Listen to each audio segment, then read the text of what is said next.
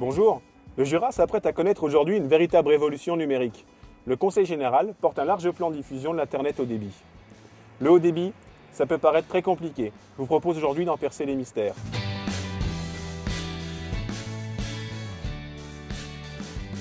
Pour bien comprendre tout ce qui va changer dans le quotidien des Jurassiens, je vous propose tout de suite de rencontrer le spécialiste en la question. Vous venez Jean-Claude Servilla, bonjour. Bonjour Julien. Vous êtes donc conseiller général de Lons-Nord, par ailleurs chargé des TIC.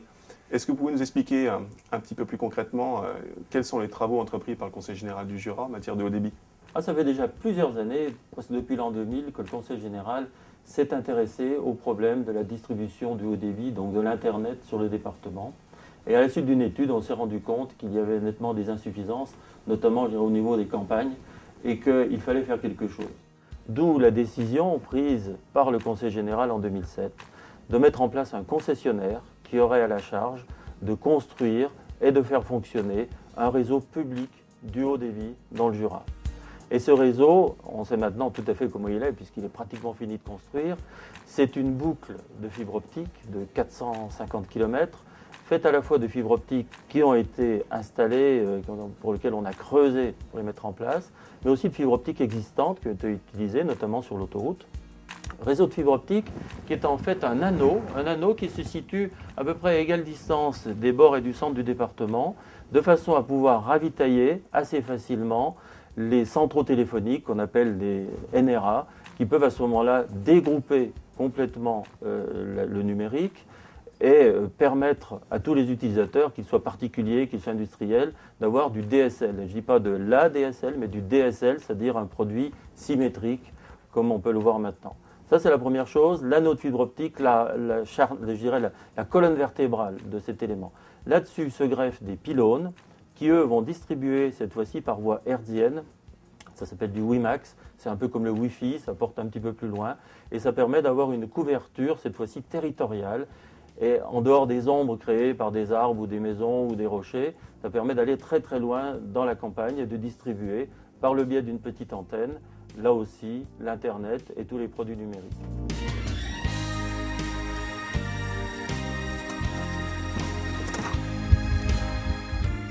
Alors nous voici en pleine campagne jurassienne avec le camion de l'association Juratique, association qui sensibilise les entreprises aux nouvelles technologies. C'est donc depuis ce camion que nous allons nous connecter à Internet via le satellite et recueillir quelques témoignages.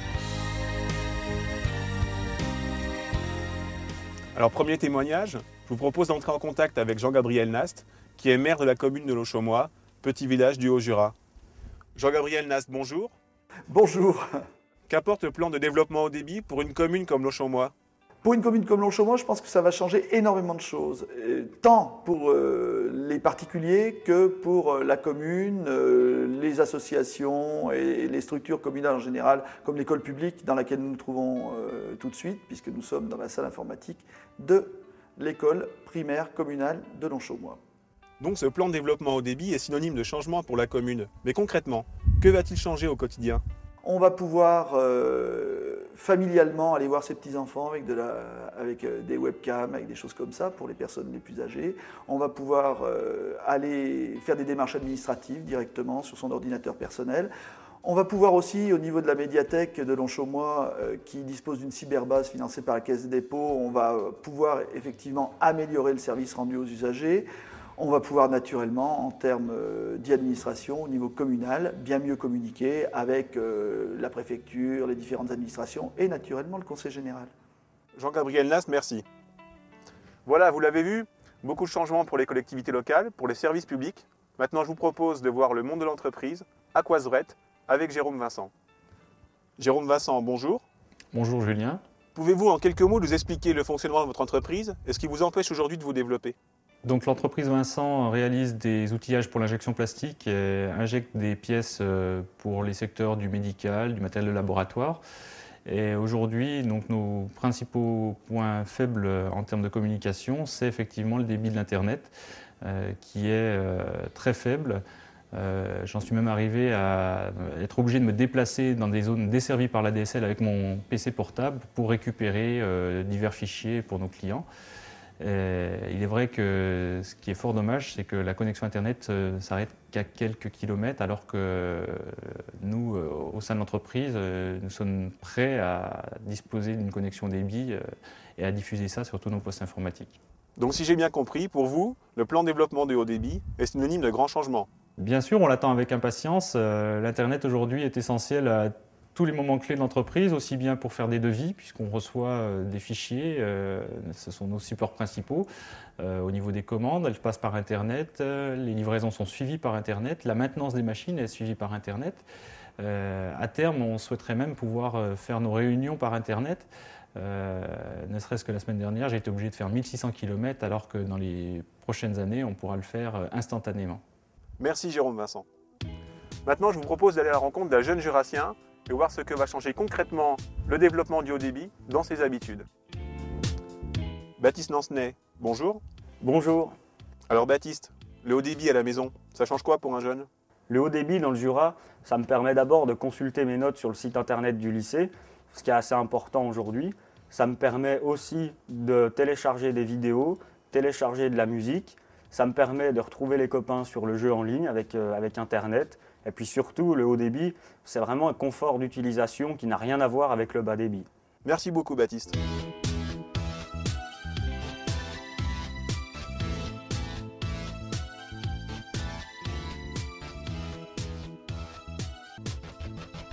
Donc si j'ai bien compris, la route est prête.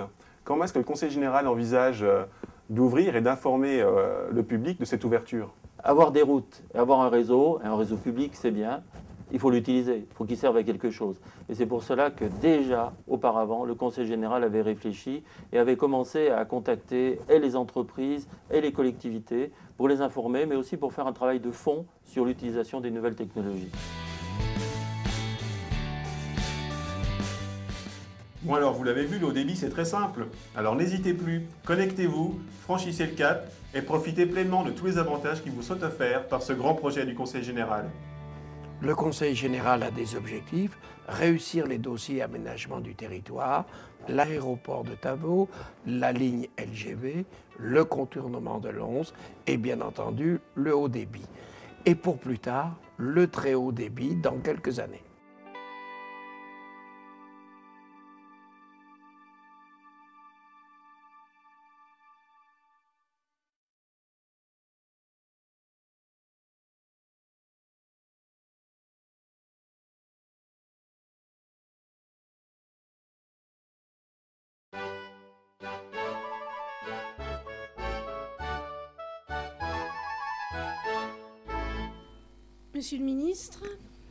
Madame la préfète, Monsieur le président du Conseil général, Madame, Messieurs les parlementaires, Monseigneur, Mesdames, Messieurs les conseillers régionaux, Mesdames, Messieurs les conseillers généraux, Mesdames, Messieurs les présidents, Mesdames, Messieurs les directeurs et autorités régionales et départementales, Mesdames, Messieurs, chers collègues. Quel bonheur, Monsieur le Président, cher Jean, de nous retrouver assemblés, renouvelés en cet hôtel du département. Merci de perpétuer ce traditionnel rassemblement, solennel et rassurant, devenu naturel et stimulant. Vous le savez, c'est chaque année l'instant hors du temps où chacun mesure autrement, sans jeu, sans enjeu, la force du département. Individuellement et collectivement, par vos talents, vous incarnez, vous imprimez déjà les prochains pas du Jura. Pas de géant pour le haut débit, pas de fourmis pour les longs débats, pas lourd pour tracer court mais léger de la LGV, je sais, Monsieur le Président, que vous garderez le pas sûr, quelle que soit l'envergure. Pour les maires, pas de mystère, ce sera le pas d'enfer. C'est dans cet esprit que vous avez été choisi, transformer au moindre prix le pire univers en paradis, tout de suite de préférence et encore plus vite si urgence. Vous relevez donc du miracle quotidien qui vous vient de l'amour des Jurassiens. Le 16 mars dernier, ils vous ont accroché des ailes pour que vous rendiez leur vie plus belle. Et je sais que vous réussirez parce que vous vivez de l'espoir qui est dans leur regard. Vous êtes le neuf de 2009, même dans les pires réalités, parce que vous enrayez la fatalité. Je peux vous parler des difficultés, des tracas du FCTVA, de l'État qui ne vous oubliera pas, qui nous préfère à ses fonctionnaires pour le service minimum. Mais comment faire quand on n'a jamais offert que le maximum? Comment faire plus avec moins? Comment faire mieux avec du vieux? Il n'y a que les maires qui sachent le faire. Alors, qui saura démontrer que l'État et les collectivités ne sont pas adversaires mais partenaires? Vous, Madame la Préfète, je le souhaite. J'ai plus qu'une présomption, car nos premières relations vont dans cette direction. Je salue votre dévouement permanent à notre département et serai amusée que la clé du succès passe par la féminité. Chers invités, à vous d'en juger. Mais sachez que lors de notre première rencontre à l'AMJ, Madame Lemoelle nous a dit L'État doit être une goutte d'huile, pas un grain de sable. Difficile et admirable, révélateur et prometteur. À nous de saisir la chance de votre double expérience dans le monde des collectivités territoriales et du corps préfectoral. Je vous souhaite pleine réussite, car vos attentions le méritent. À vous, Monsieur le Président, à votre épouse, à tous les invités de cette soirée, je souhaite bonheur et santé, du bon temps à partager avec ceux que vous aimez, la force et la sérénité pour faire ce que vous devez. Je souhaite, comme à l'AMJ, que la pluralité soit synergie et que le Jura s'en trouve grandi. Pour maîtriser l'espace et le temps, vous serez efficace et prudent. Mais ne soyez pas sage. Nous avons tous passé l'âge. Pour atteindre l'impossible, vous devez être impossible. Jurassien, ça aide bien. Alors n'hésitons pas et donnons au Jura ce qu'il n'espérait pas. Merci.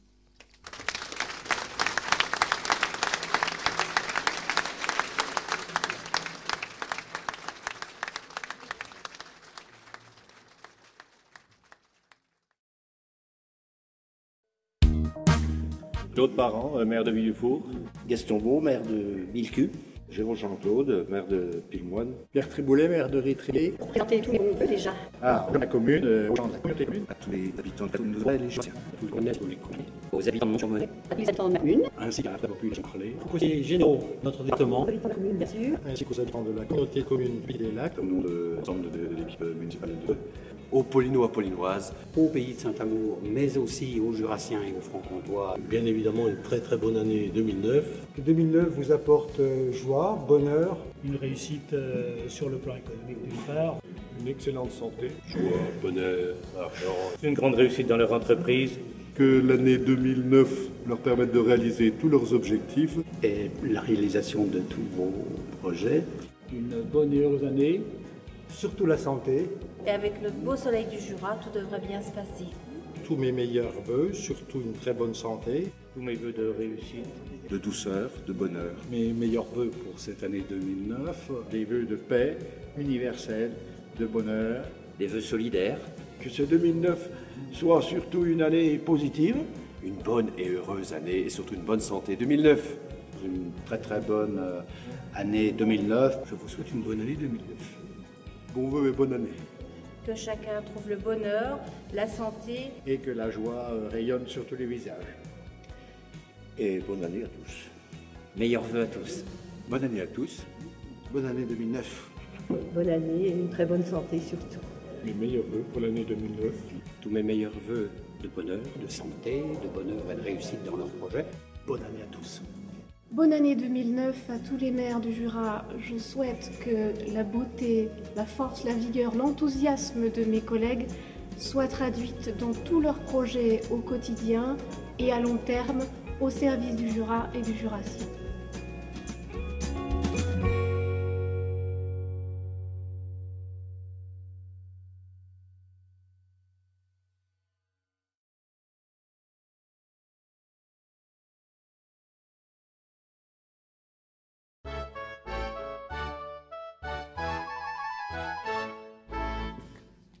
Madame la préfète, Mesdames et Messieurs les parlementaires, Monseigneur, Madame la présidente de l'Association des maires, Mesdames et Messieurs les maires, Messieurs les présidents de communes, Mesdames et Messieurs les directeurs et chefs de service, Mesdames et Messieurs, chers collègues, au nom des 34 conseillers généraux, Madame la présidente, nous vous remercions de vos voeux et de vos différents souhaits. À notre tour, les 34 conseillers généraux, nous vous présentons euh, tous nos voeux à toutes et à tous ici euh, présents. Vœux de santé pour vous et vos familles. Vœux pour les structures dont vous avez euh, la charge. Vœux pour vos entreprises. Vœux pour l'ensemble des salariés qui, tout au long de l'année, nous aident dans nos missions. Ayons aussi une pensée pour ceux qui sont dans la peine et qui ont perdu un être cher.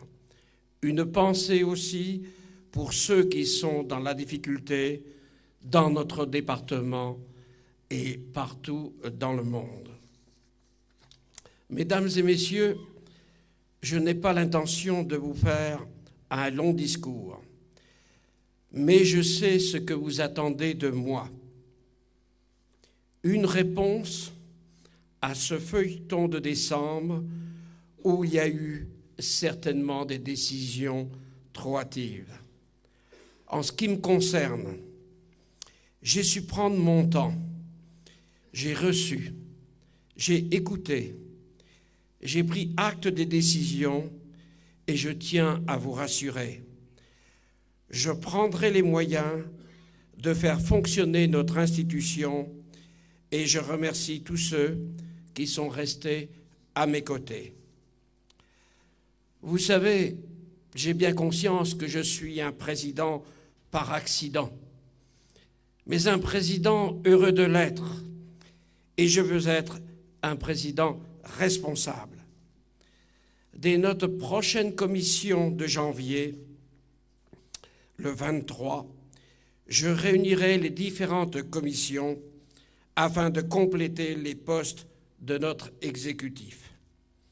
Puis, dès février, avant chaque commission permanente, j'ai décidé de réunir l'ensemble des 34 conseillers généraux de 8h15 à 9h15. J'inviterai donc tous les conseillers d'une façon informelle afin que chacun puisse s'exprimer. Ça sera ma nouvelle façon de voir l'ouverture, mais je tiens à ce que tous ensemble, nous puissions euh, retravailler. Pourquoi je suis confiant? 2008, nous avons élaboré un budget ensemble. Il est fortement imprégné des positions de chacun. 2009, ce budget sera exécuté. Mais par qui? Par l'ensemble de la commission permanente. Et dans cette commission, nous avons eu de la chance lorsque nous avons formé notre nouvel exécutif, puisque 33 conseillers y participent, c'est-à-dire pratiquement la totalité des conseillers généraux. Nous sommes élus pour trois ans. Dès demain, je ferai tout pour que dans une autre configuration, nous puissions continuer de travailler. C'est ce que tous les jurassiens attendent. Et si l'on a été capable de travailler en commun en 2008, et je sais qu'on devra travailler ensemble en 2009 pour exécuter le, projet, le budget qui a été voté, eh bien, pourquoi pas travailler la troisième année encore ensemble. Quelques mots sur le budget. Et là, je serai euh, très bref. Simplement trois chiffres à retenir. La fiscalité, nous avons voulu tenir compte de la situation actuelle et cette augmentation de la fiscalité sera faible, 1,20% plus l'augmentation des bases. Par contre, nous aurons un emprunt plus important que les autres années. Nous avions l'habitude d'emprunter 10, 15 millions d'euros. Eh bien, cette année, nous allons emprunter 30 millions d'euros. Ceci est possible par la bonne gestion des années antérieures. Cela est possible aussi car nous avons commandé une étude sur l'ensemble de nos finances à un cabinet, le cabinet Clofer, et les analyses nous montrent que nous pouvons emprunter cette somme sans pénaliser les budgets euh, futurs. Emprunt qui permettra de soutenir l'investissement, de réaliser les grands projets du département pour assurer le développement de notre département du Jura. Je vais vous les reciter, ils l'ont été dit